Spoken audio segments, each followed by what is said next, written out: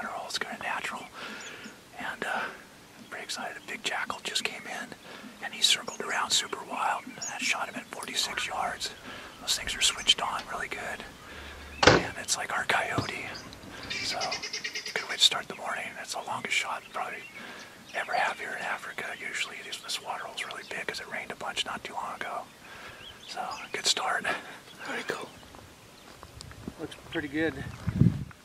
Those things are so dang jumpy that I normally wouldn't take that kind of angle on anything else, but a jackal like that that's so small, and then he came in once and left, came back in, and I you know he was quartering towards me a little bit, and he turned. I ended up hitting him kind of mid-body, and it came out back. But those jackals do a lot of a lot of destruction on the smaller antelope species here, and birds and everything else. So it's good to get them out, and I think uh, Harry said they get about one a year. They're pretty elusive. So it looks like a dang good hit. See. It's a very good shot. Bob made about a 45 yard shot. There's the blind we shot it out of. Yeah, it's a cool blind. You can sure see a lot of stuff coming in. And uh, The water hole's a little bigger and further than I was hoping for for something else, but when you get an opportunity on a jackal, you got to take it. There was nothing else around him, so one less predator is a good thing.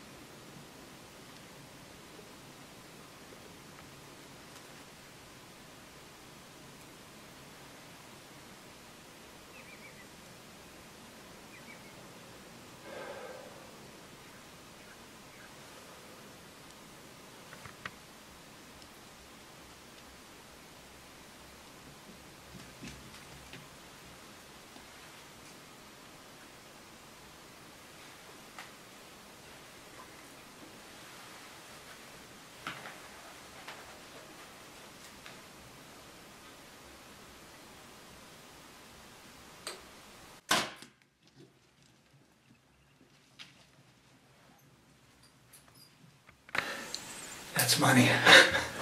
I'm a wreck between almost shooting those giant Inyala. Never gave me a shot. I knew something was like gonna happen good from that, but I've just been wound up for the last 20 minutes. and that giant sable came in. And we could tell that the Inyala were getting spooky.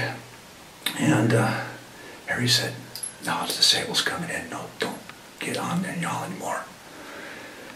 And then that big brute of a sable that we almost got the other night, he came in, it was too dang dark to shoot, so I didn't shoot. He finally gave me a good shot, quartered away at about 25 yards. And very good, man. there, got through the shot process, like, uh, just calm down and pull through it. And, poof, looked like it was right where I wanted it. Dang, that's a big sable. I've been dreaming about that. This is my sixth trip. I've always wanted to shoot a good one, and I finally got the sable of my dreams the right way on a ranch that's just wide open, 100,000 acres with super wild animals. Whew, what a bump.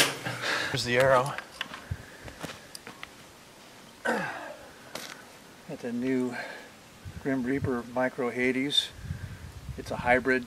It's got an inch and uh, 16th fixed, inch and 3 eighths expandable. Pounded in perfect. I thought the arrow went through deep enough to get to the other side and obviously snapped off. And here's the other part of it. So, you know, there's a little bit sticking out. They're big, tough animals. So some of the arrows snapped off inside of him, but got full penetration. Big, tough animal, but he's not going to be able to take that. We got some good blood here, so we'll just track it from here. Yeah, that placement was uh, pretty good. Very pleased with the shot. What a beautiful animal. That's amazing trying to track him on this sandy soil. There he's got it down. All we needed was a little bit of blood and it came out pretty good. What a beautiful animal. Yeah, they, this is the most one of the most beautiful animals in the world and definitely top of the list in Africa. And there's so much about them that's incredible. And this is the exit, so everything, at the vitals in Africa are always a little forward of our North American stuff and maybe a little lower. That's the exit, so we went about 150 yards. They're big animals, notoriously tough, but I took my time and made a good shot. And uh, here's the result. Harry, you got the best place in Africa. This is my sixth trip. You got a pretty incredible operation, but the fact that you have so much land, like 200,000 acres that you hunt total, and you, you flip-flop them on 100,000 a year. You let these animals get old, you're only bow hunting them, and the quality here is unparalleled. Thank you very much, Bob. That's a beautiful sable, man. You can be very, very proud of yourself. Yeah, it took us four days, but uh, being patient, had had the same one in probably a couple nights ago, and just too dark to shoot. And I didn't want to do anything other than a perfect shot. And today, want to wore us out with the Inyala, and finally this this bad boy came in, and uh, took my time and put the arrow right where it needed to be at the right angle, and put him down probably 150 yards. For that kind of shot, it's amazing he went that far, but uh, yeah, I'm very pleased, to say the least.